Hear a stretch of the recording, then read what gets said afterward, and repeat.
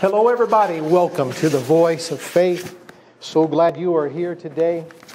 If you have your Bibles this morning, I'd like for you to open them, please, to Psalm 91. Wednesday night, we began a new series entitled In His Presence, and that CD is out there. So we are current on our CDs, we're up to date.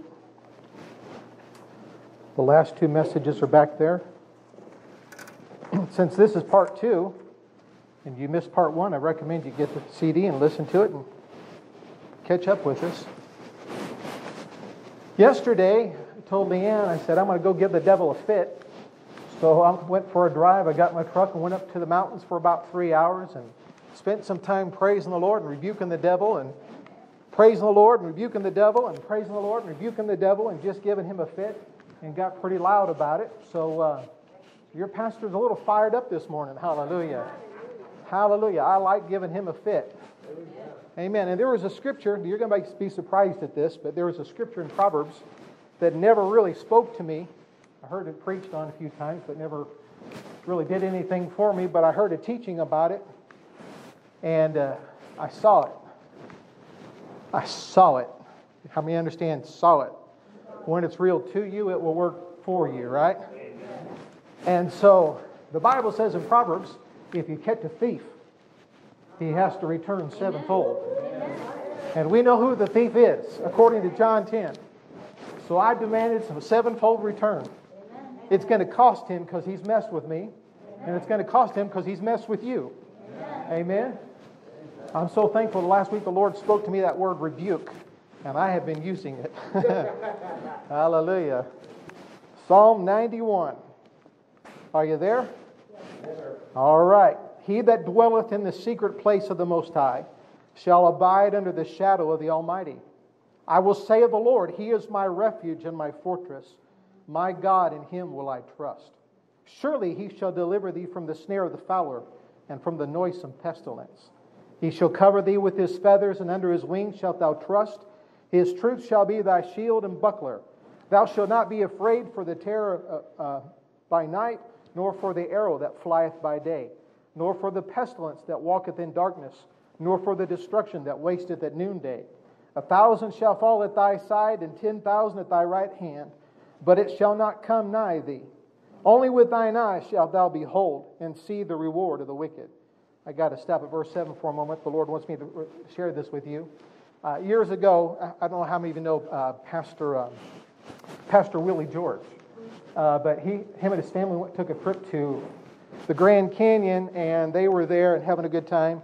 Well, his little boy kind of went away and went out in the parking lot, and this car was headed right toward him, and the driver didn't see. And so Willie George cries out, and he says, in the natural, the car missed his son by less than an inch. And he said, Oh God, oh God, oh God. He said, he said, that was a close one. That was a close one. And the Lord says, No, no, it wasn't. He says, Yes, it was. When I saw it, it was a close one. The Lord said, No, no, it wasn't. He said, Lord, I saw it. It was a close one. And the Lord opened his eyes and he saw angels. And the Lord said, See, it wasn't a close call at all. Amen. A thousand may fall at your side and 10,000 at your right hand, but that's not even a close call for us. Hmm. Only with thine eyes shall thou behold and see the reward of the wicked because thou hast made the Lord, which is my refuge, even the Most High, thy habitation. There shall no evil befall thee, neither shall any plague come nigh thy dwelling. For he shall give his angels charge over thee to keep thee in all thy ways.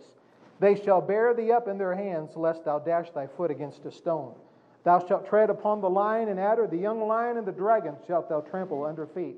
Who's the dragon? Mm-hmm. Who? That's right. That's right. Because he hath set his love upon me, therefore will I deliver him. I will set him on high because he hath known my name. He shall call upon me, and I will answer him. I will be with him in trouble. I will deliver him and honor him. With long life will I satisfy him and show him my salvation. Hallelujah. Now, I read all that once again for a reason, and that is this there are many promises that come with abiding in God's presence. It is to your benefit to dwell in the secret place of the Most High. Amen. I'll say that again. There are many promises that come with abiding in God's presence. God wants us to live in His presence. He doesn't want us just to visit Him, He wants us to live in His presence. Amen.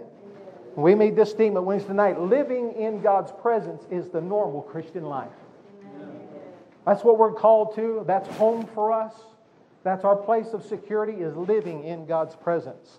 That's normal for you and I. It's abnormal for Christians not to live in God's presence. It's abnormal for Christians to visit and then leave.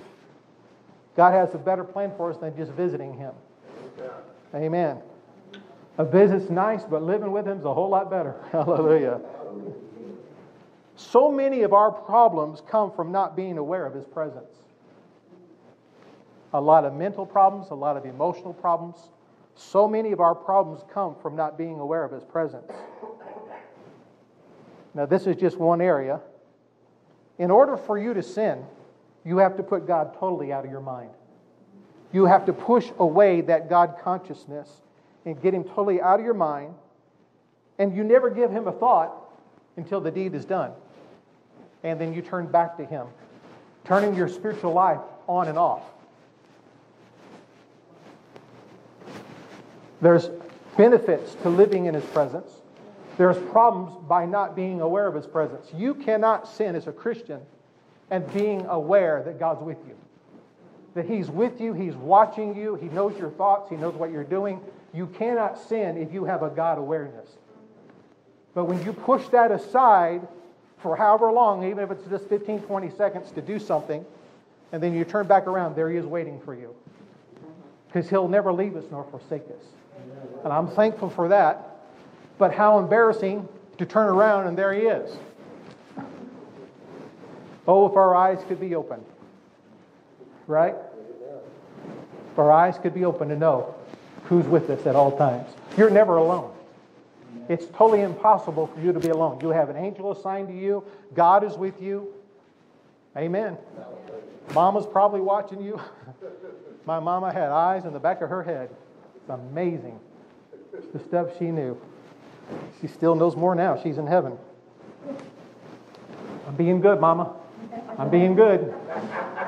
Just want you to know that. That whipping's lasted. All these years, that whipping's lasted, Mama. Your life would be totally different if you resisted temptation.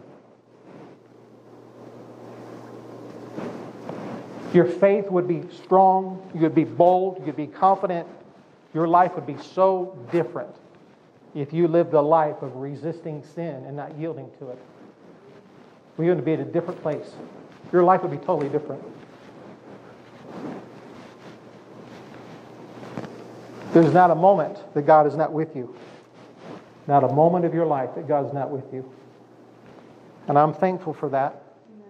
Because during those times of temptation and pressure, He's there by your side to give you aid, to give you the strength you need. I want to read verse 1 again.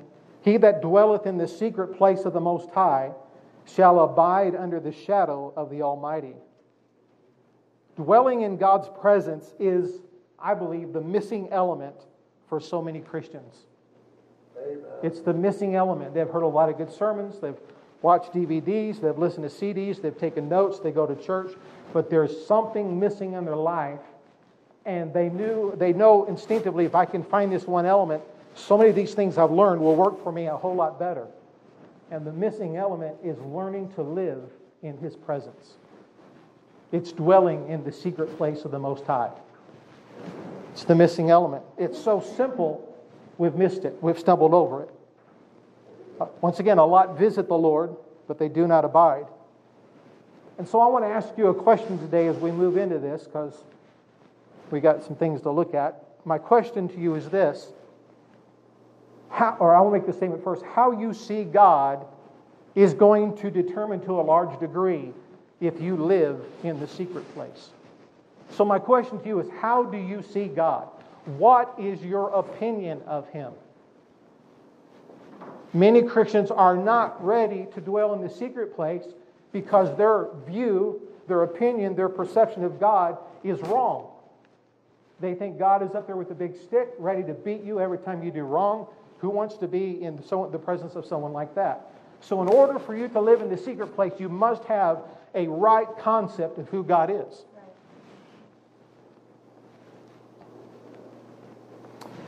So, I'm going to begin with a thing that I've been taught for years that was wrong. And I, most everybody that I know think that this is pretty common knowledge, but the truth is opposite. Would it shock you to know that God will never, ever be mad at you? Amen. Most Christians believe that God is mad at them. He's highly ticked off, and just one more thing, and bam, you are in trouble. But the Bible tells us that God will never be mad at us again. Go with me, please, to the book of Isaiah, Isaiah 54.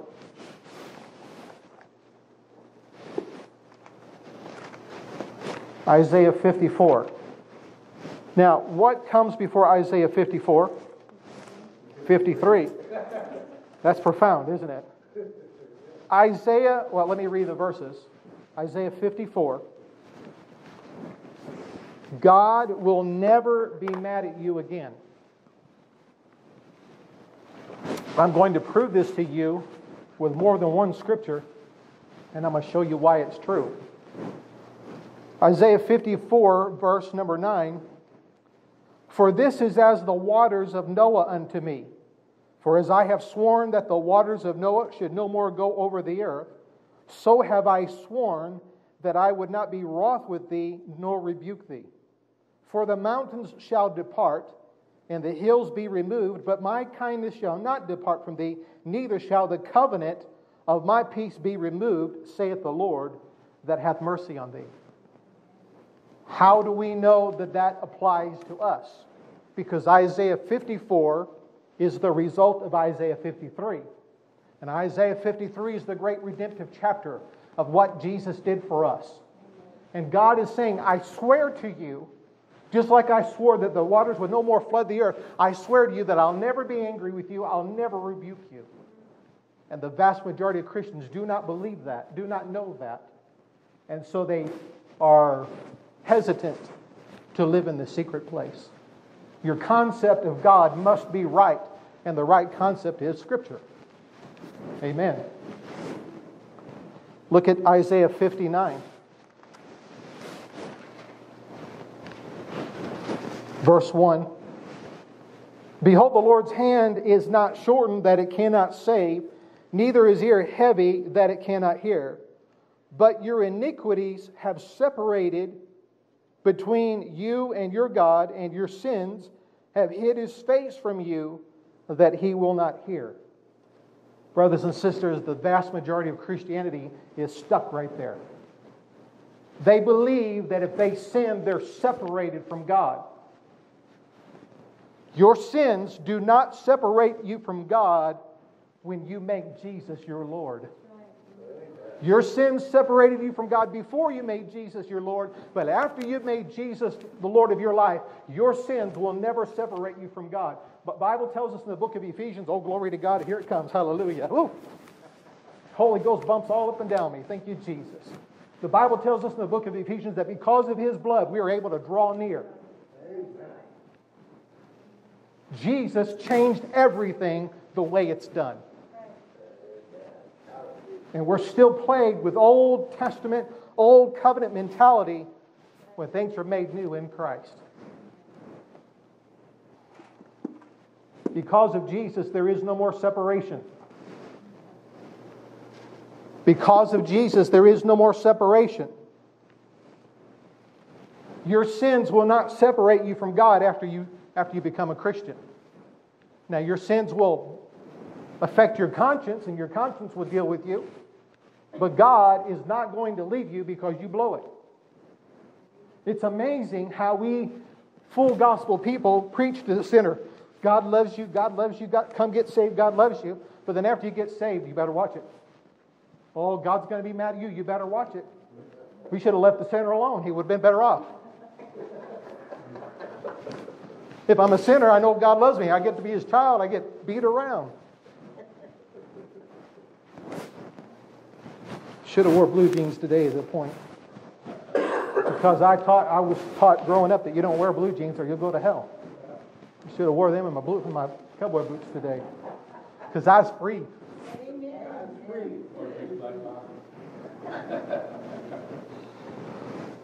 All, say all. all. One more time. All. all of God's wrath was poured out on Jesus. All sin has been paid for. Right? Because of this, there isn't any wrath of God left for your sin. All of God's wrath was poured out on Jesus. Because of this, there isn't any wrath of God left for your sin. He poured it all out on Jesus. God has no anger left for you. This is the age of grace. Now, when the rapture happens and the tribulation period comes, it's a different story. But right now, we are in a covenant of grace, and God has no anger toward you. He poured it all out on Jesus.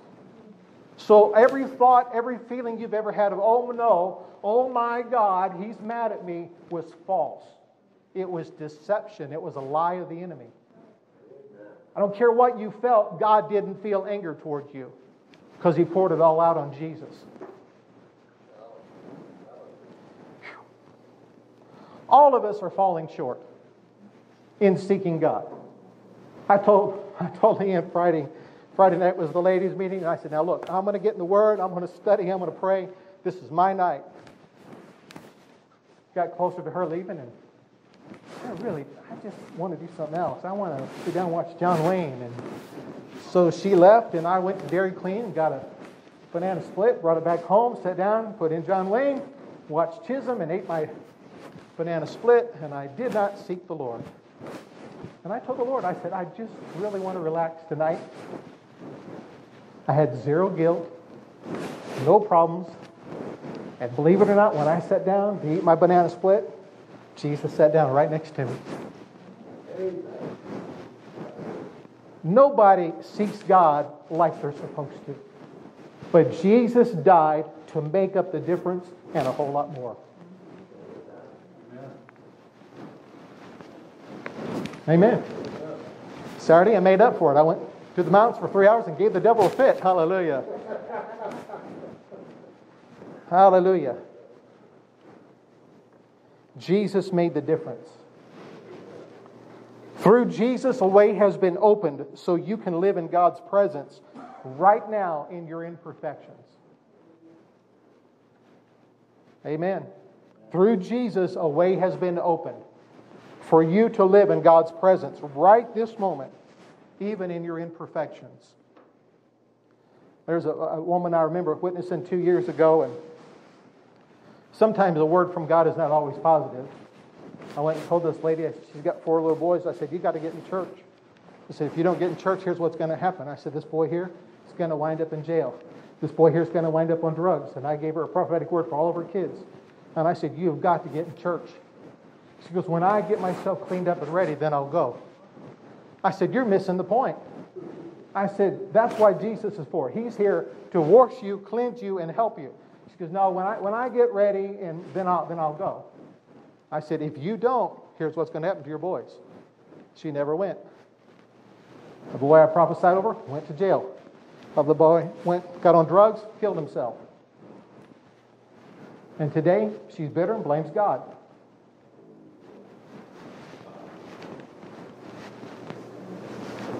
Is that God's fault? No. Jesus had made a way for her to enter in and live in God's presence, even in her imperfections. Right? You've got to get rid of the guilt and condemnation that many, many people live with. You've got to relate to God not on the basis of your performance, but you've got to relate to Him on the basis of His goodness and His love toward you. This is how you fellowship with him. This is how you get in his presence and stay there is you talk to him and you worship him and fellowship with him based on who he is and what he's done for you. You've got to focus on His goodness and His forgiveness. You've got to have an attitude of, thank, of thankfulness and of love and, and just going to Him and appreciating what He's done for you. Right? If you go to God and you say this, Oh, God, I don't know how you could ever love someone like me. It will bring guilt and condemnation, and it will cut off your fellowship with Him. You do not go to God telling Him, I don't know how you could choose me. I don't know how you can use me. I don't know how you can love me. That's not what He wants to hear. And if that's the way if that's your basis of approach, no wonder why you're not fellowshipping. No wonder why you're not hearing Him, and no wonder why you're not enjoying His presence. Is you're coming to Him based on your faults and flaws as opposed to based on, based on the blood. Excuse me. Let's read in 1 John, please. 1 John 3.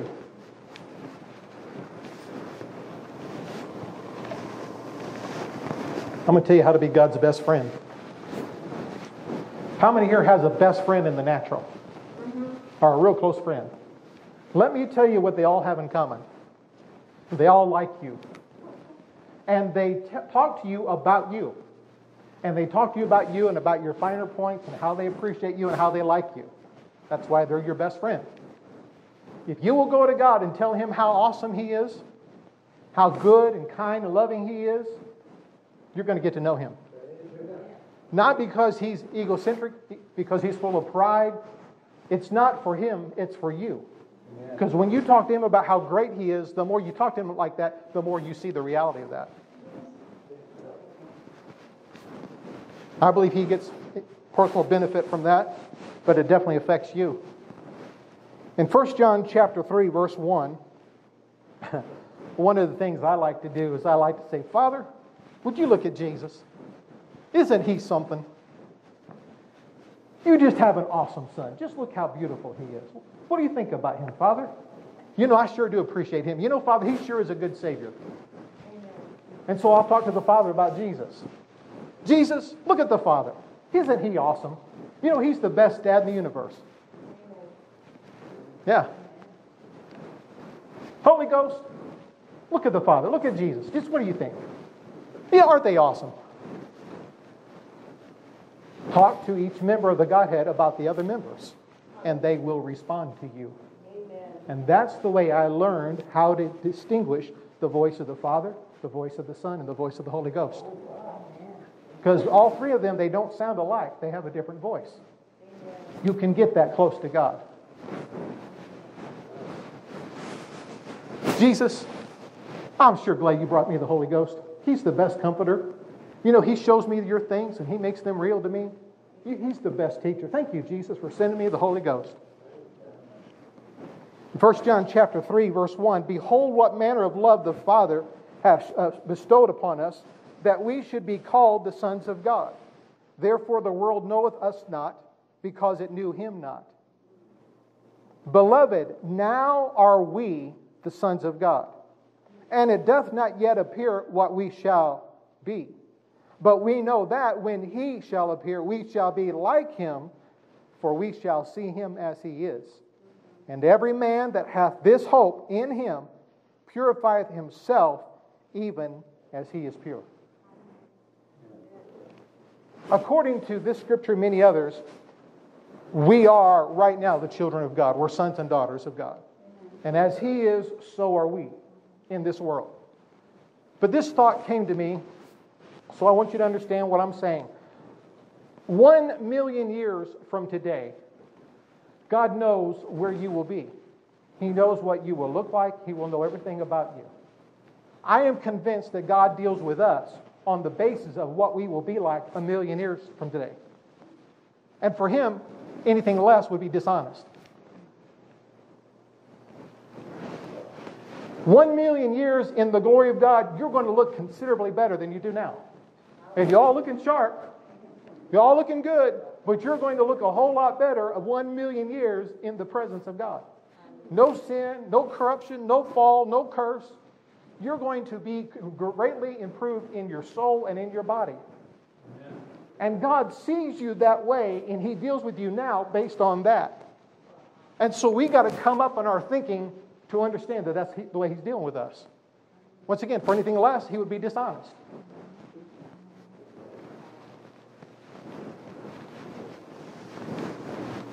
Oh, the wheels be a spinning right now. One million years from today, you will be alive, you'll be thinking, you'll be breathing, you'll be making decisions, you'll be talking to people, you'll be going and doing. And you'll be more alive then than you are now because you won't have this flesh to deal with to hold you back. You and I, this just came up, thank you, Holy Ghost. You and I will be learning at the speed of light for one million years and God still will know more than you.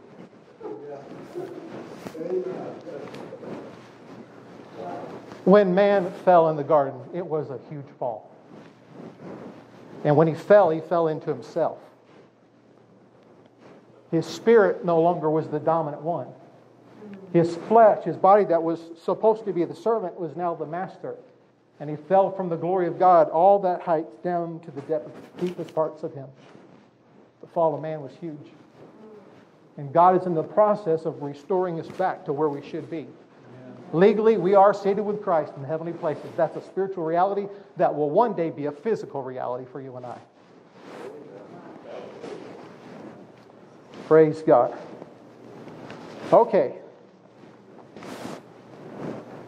You cannot overcome sin by your own strength and some standard. You need His presence.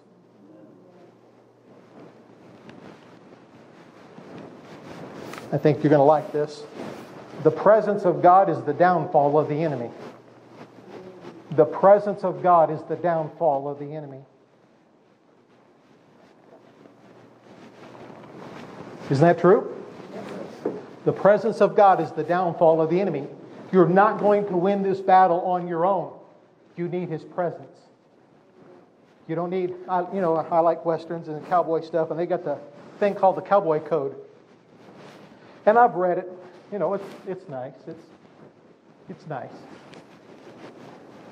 But if you don't have the life of God on the inside of you, yeah, you ain't got nothing. You just got spurs. The presence of God is the downfall of the enemy. And he's the downfall of the enemy in your life when his presence is so manifested. Read with me in 2 Corinthians 5.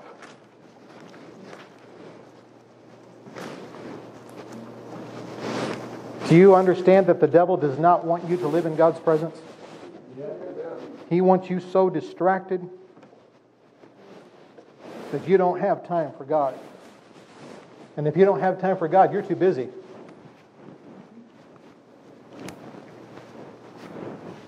Learn to do things unto Him. Learn to do things with an awareness of His presence. Now, I know some people, I need to make this statement as we go farther into the, this series. Some people have a job where they have to mentally uh, concentrate because people's lives are at stake. Yeah. All right, and people have responsibilities. And so God blessed you with that job. You don't need to feel guilty that you have to concentrate mentally on that position. But when you're done, turn your attention back to the Lord. Okay? And when you go into work, say, Lord, I'm doing this for the people, but I'm doing it as unto you. Right? Now, there are some some jobs where someone has to mentally apply themselves, but they will, in their job, find themselves worrying. If you can worry on the job, you can meditate on God on the job. Living in His presence is normal for us. In first, uh, 2 Corinthians 5, verse 17, Therefore, if any man be in Christ, he's a new creature. Old things are passed away, behold, all things are become new. And all things are of God who hath reconciled us to himself by Jesus Christ, hath given to us the ministry of reconciliation. To wit, that God was in Christ, reconciling the world to himself, not imputing their trespasses unto them, and hath committed unto us the word of reconciliation. Verse 21 For he hath made him to be sin for us, who knew no sin that we might be made the righteousness of God in him. I've got some awesome news for you today. God is not recording your sins. God does not know how many times you have sinned. God does not know how many times you have sinned because He's not counting them up. He's not recording them. He's not imputing them against you. He does not know how many times you have sinned. So if you have an area where you're falling in continually, do not go to God and say, God, this is my 47th time. Because to Him, it'll be your first. And that will produce guilt and condemnation in you. It's your first time as far as He's concerned. And if it is your 47th time, you repent and you say, Lord, I need help. So I'm just going to enter in. I'm going to draw closer to you and enter into your presence because your presence is the downfall of my enemies. But God does not know how many times you have sinned. He's not recording them. Wow, it's quiet in this Presbyterian church. I thought you'd all be up running around screaming, Hallelujah, because some of you have sinned a lot.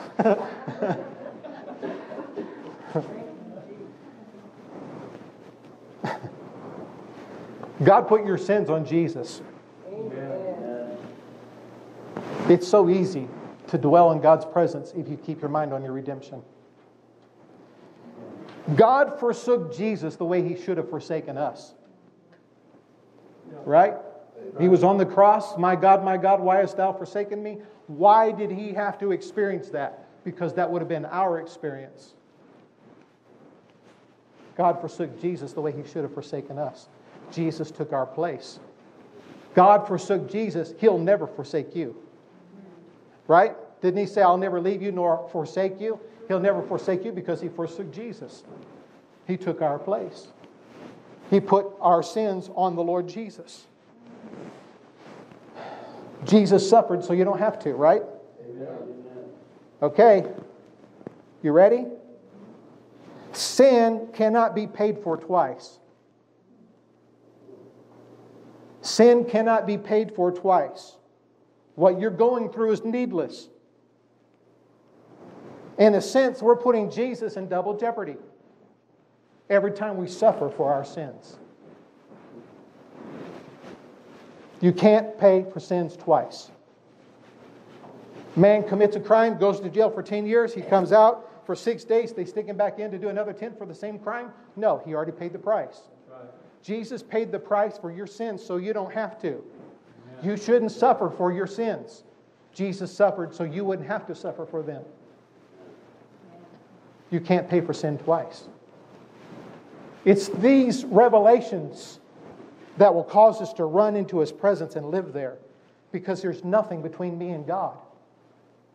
There's no sin, there's no guilt, there's no shame in His presence. When He looks at us, He sees purity.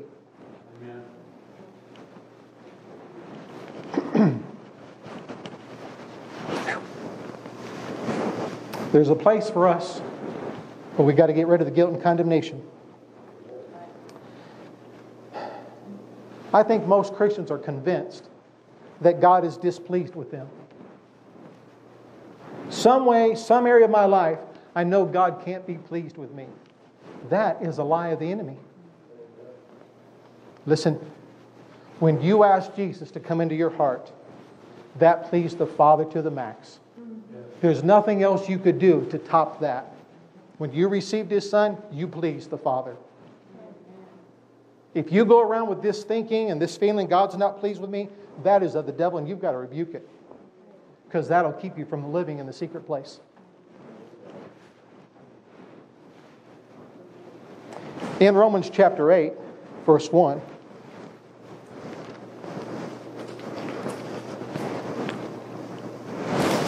How can you live in this secret place of the Most High if you think God is displeased with you?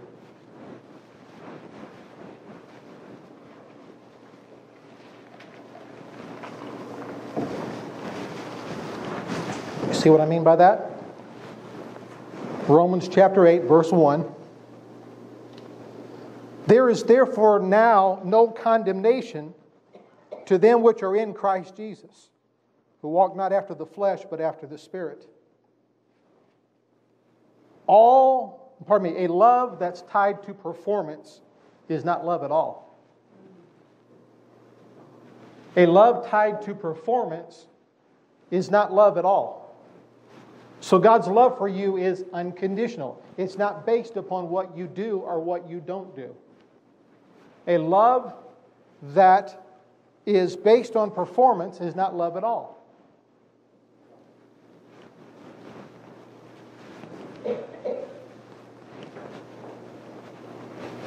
That ought to set somebody free in here. I'm coming to discover something about the Lord. I know that I'm beautiful and wonderful, and I know you're beautiful and wonderful too. But God really doesn't love you because of you. He loves you because He is love. That's really the best place to be. He just loves you because He loves you. We were watching the movie The Shack last night. I really like the movie. I like, I like Papa. I like that, that black lady. I just want to go up and give her a hug. I just thought she was a great Abba father. So I like Papa. But anyway, oh, I got off on what I was going to say. Oh, she said, she had mentioned someone. She goes, you know, I, I feel quite fond about so and so. I feel quite fond about so and so. Well, the, the guy says to her one day, he says, Is there anybody you don't feel fond about? She goes, Come to think of it, no. God feels fond about you. Hallelujah. All right, there's no condemnation. Now, the word condemnation, as we've talked about here in the church, if there's a, a, a in the city a, a, house or a building and it's condemned, city will come out, they'll, they'll tap up, you know, they'll put a thing up there. It says this building's condemned. Condemned means it's not fit to be used, it's not fit to live in, right? The Bible says there's, there's no condemnation. If you feel unfit for use, you are experiencing condemnation. If you feel unfit for use, you are experiencing condemnation.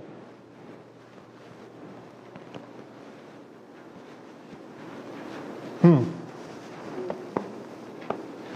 But Phil, I've not been trained in such and such an area. Phil, I don't have a grace for such and such an area. I understand that. But the Bible says in Corinthians that God is our sufficiency. God is your sufficiency. If you feel unfit for use, you are experiencing condemnation. The devil has tacked upon your heart, this building's condemned. It's not fit to be used. But the Bible says there's no condemnation for those of us who are in Christ Jesus right? To dwell in God's presence is to dwell in His love. Stop beating yourself up. To dwell in God's presence is to dwell in His love. He loves you, He accepts you. He's not displeased with you, He's not angry at you. If you dwell upon your sins, faults, failures, and shortcomings, you will not be able to live in the secret place. The, the, the key to this is constantly be thinking about the goodness of God. Amen. As we close today, let's go to Zephaniah. And I know that's one of your favorite books. Zephaniah, Haggai, Zechariah. Sounds like a Western. Ding, ding, ding. Here comes the three guys Zephaniah, Zechariah. You know. Zephaniah chapter 3. Zephaniah is a book about judgment. It's a book about how God's people have to go into captivity, and it's about God's judgment. And I want you to notice that at the end of this this book, this prophet prophesies by the Spirit of God. And he says this in verse 17. 3, Zephaniah 3, 17. The Lord thy God in the midst of thee is mighty. He will save. He will rejoice over thee with joy. He will rest in his love.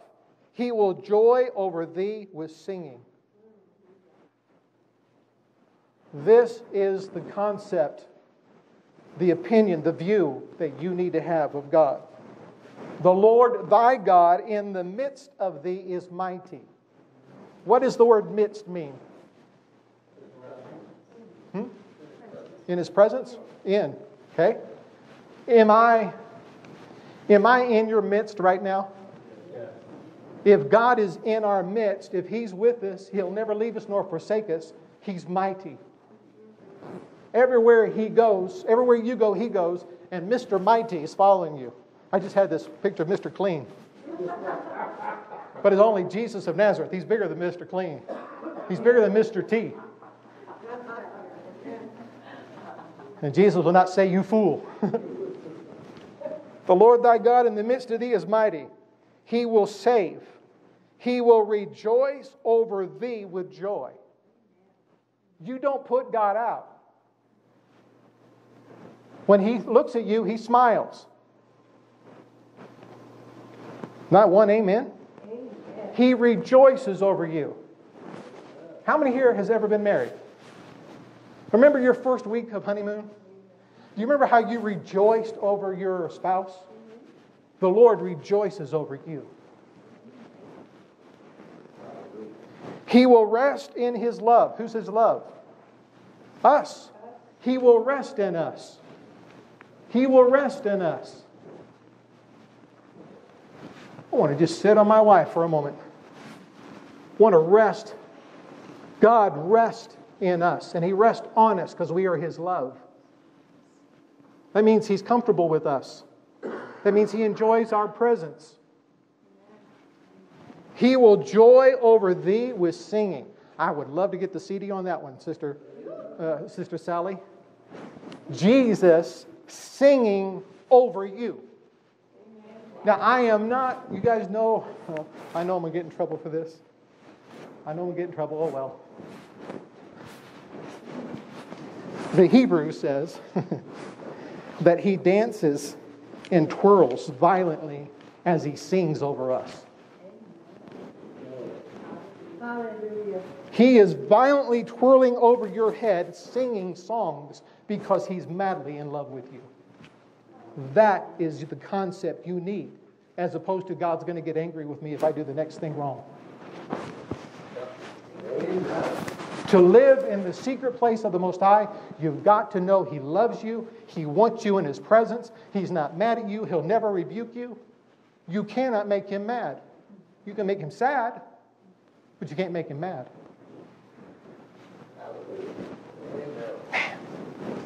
Oh Lord, open our ears. Let us hear. Let us hear what you're singing over us. Don't you know Jesus has the most beautiful voice of every man, any man ever? What a voice. And he's singing over you songs of deliverance and songs of love and songs of blessing.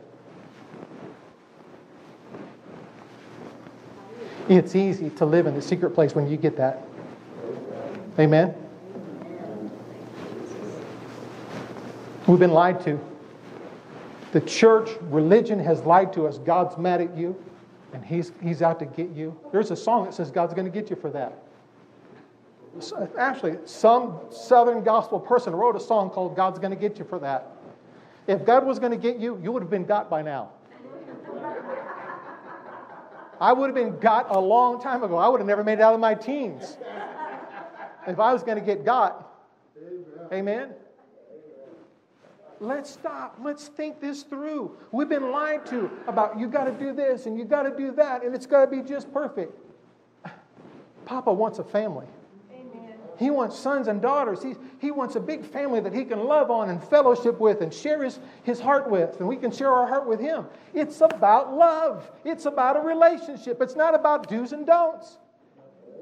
And people get upset with this kind of preaching because they say, Oh, you're preaching grace. You're preaching, you just do anything you want. And because all your sins are taken care of, past, present, future. That's right, they are.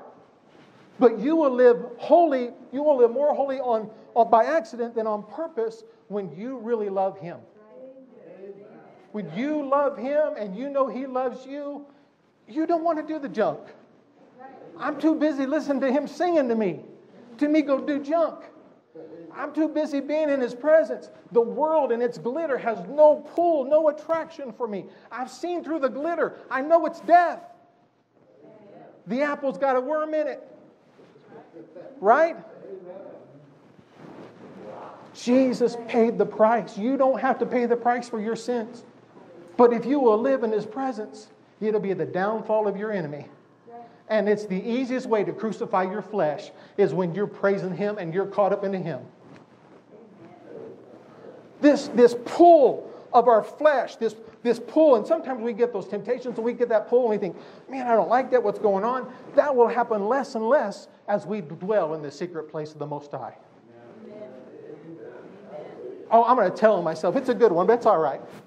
I was coming home, I was in the truck, and, and there's this girl, he came out of the house, and she was going to her car, and her car was parked right by the street. And I looked at her and I thought, that is a good looking woman. And my next thought was, I'm so glad I'm in the secret place. I had no other thought other than just recognizing she was a pretty woman. My wife doesn't know the story. But I was praying in tongues and so caught up in his presence, the pull to look wasn't there. I noticed and I, I just, boom, I'm right back in the secret place because I'm determined to be a man who lives there. The pull of the flesh just doesn't happen when you're living in his presence. Amen. I'll say this and I'll quit. She was a fine looking woman. But that was it. I was just boom, done. I'm done. Now I could have.